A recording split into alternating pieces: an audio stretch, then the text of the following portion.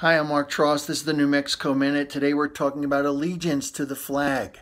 The American flag flies over the plaza in Taos day and night, and it has done so for the longest period of time anywhere in the country. In 1861, Kit Carson and Captain Smith H. Simpson of the U.S. Army nailed the flag to a tall cottonwood pole in the plaza as a sign that the citizens of New Mexico were loyal to the Union because a large contingent of Southern sympathizers was determined to tear it down, they then kept a vigil day and night to make sure it stayed in place. In commemoration of that loyalty, the Taos Plaza has been honored as one of the few places where the American flag is permitted to fly 24 hours a day.